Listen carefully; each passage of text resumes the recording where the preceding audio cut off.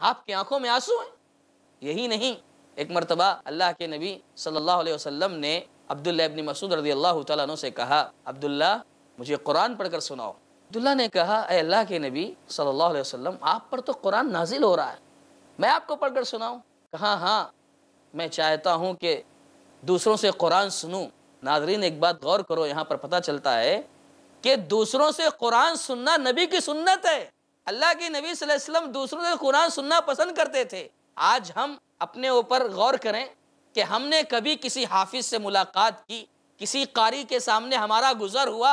हमने कभी ये सोचा कि उस कारी से या उस हाफिज कुरान से कहें कि भाई थोड़ा कुरान सुना दो, थोड़ा कुरान पढ़ो। ये अल्लाह के नबी मोहम्मद रसूलुल्लाह की सुन्नत है कि कुरान सुनाओ, मैं सुनना चाहता हूँ। बहरहाल, सहाबी रसूल अब्दुल्ला मसूद रदी अल्लाह तु ने कुरान पढ़ना शुरू किया। सूर्य निसा पढ़ रहे हैं। पढ़ते पढ़ते चालीस आयतें खत्म हो गई। इकतालीसवीं आयत पर जब पहुँचते हैं फ़कई फ़ैदा जीना मिन कुल्ल उम्मतिन बिशहीद, व जीना बिकाला शहीदा।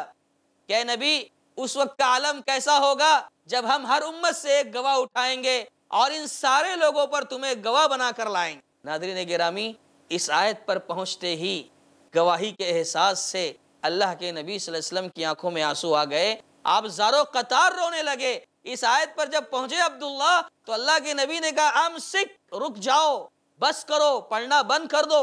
अब्दुल्ला इब्न मसूद ने जब कुरान पढ़ना बंद किया तो देखा, नबी वसल्लम की दोनों आँखों से आँसू जारी दोनों आँखों से आँसू जारी है। एक रिवायत में यहाँ तक आया कि अब्दुल्ला कुरान पढ़ते जा रहे हैं अल्लाह के नबी वसल्लम सुन रहे हैं और रोते जा रहे हैं। एक दूसरे सहाबी का वहाँ से गुजर हुआ और उन्होंने मंजर देखा कि अब्दुल्ला कुरान पढ़ रहे हैं और अल्लाह के नबी वसल्लम रोते जा रहे हैं।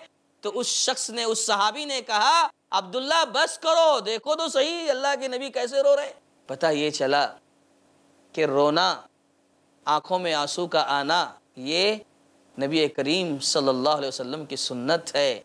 और रोना अल्लाह के डर से बहुत बड़ी इबादत है।